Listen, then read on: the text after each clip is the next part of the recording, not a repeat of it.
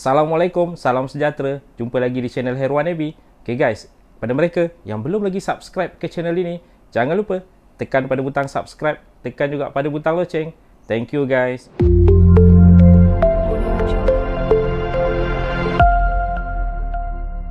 Kita bakal memasuki ke bulan Disember 2021. Hanya tinggal beberapa hari saja lagi. Minggu hadapan, pertengahan minggu hadapan, kita akan memasuki ke bulan Disember.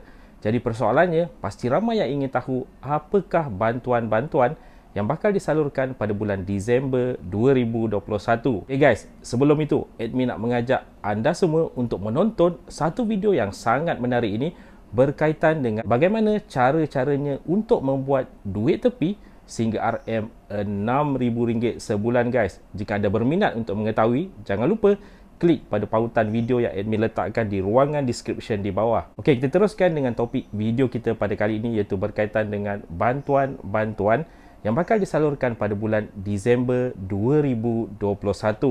Yang pertama, walaupun ianya bukanlah dianggap sebagai bantuan oleh ramai orang di luar sana, tetapi sedikit sebanyak ianya bolehlah dianggap sebagai bantuan kerana telah pun dipermudahkan pengeluarannya, iaitu pembayaran untuk iCitra KWSP. Pasti ramai yang tahu bahawa pada bulan Disember 2021 ini, pembayaran RM1,000 ini adalah pembayaran terakhir untuk mereka yang menerima seawal bulan Ogos 2021.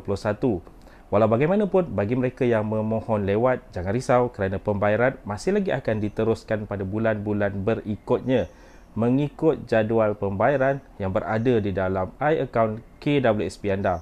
Jadi pembayaran untuk iCitra bagi bulan Disember ini akan dibuat seawal 1 hari bulan 12 2021. Cuma seperkara yang harus diingatkan, pembayaran dibuat secara berperingkat bukan semua orang menerima pada 1 hari bulan Disember 2021. Jadi untuk melihat dengan jelas berkaitan dengan tarikh pembayaran untuk anda, anda boleh log masuk ke dalam iAccount KWSP, lihat pada sejarah pengeluaran dan di situ akan tertera last recurring date untuk anda. Itu adalah sebenarnya pembayaran untuk bulan 12 2021. Dan seterusnya untuk pembayaran JKM tiada akan dibuat pada bulan 12. Ingat tu sebab pembayaran telah pun dibuat bermula daripada 25 hari bulan 11 sehingga 30 hari bulan 11. Ini untuk pembayaran bagi bulan 12 sebenarnya bagi pembayaran bantuan bulanan JKM. Jadi tiada bayaran untuk bulan 12 bagi penerima-penerima bantuan bulanan JKM dan bantuan seterusnya akan disalurkan pada 1 hari bulan sehingga 10 hari bulan 1 2022.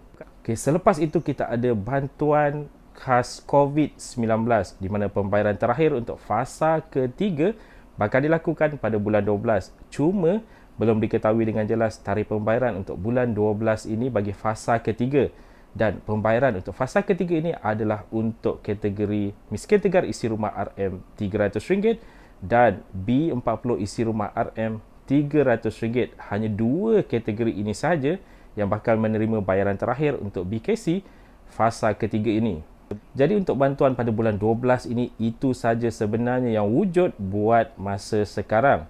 Dan selain daripada itu mungkin ada bantuan-bantuan secara tidak langsung, secara langsung daripada Jabatan Agama Islam dan sebagainya.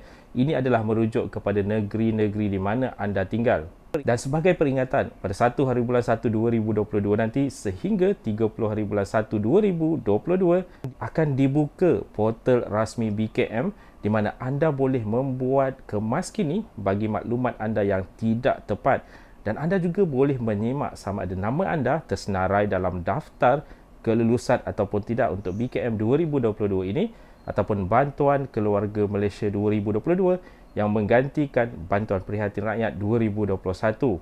Okay guys, itu dia tadi sedikit sebanyak perkongsian berkaitan dengan senarai bantuan yang bakal disalurkan pada bulan 12 2021. Jika anda ada sebarang pertanyaan, sebarang komen, boleh tinggalkan di ruangan komen di bawah. Dan kepada mereka yang belum lagi subscribe ke channel ini, jangan lupa tekan pada butang subscribe, tekan juga pada butang loceng. InsyaAllah kita berjumpa lagi di video yang akan datang. Stay safe, stay healthy. Assalamualaikum.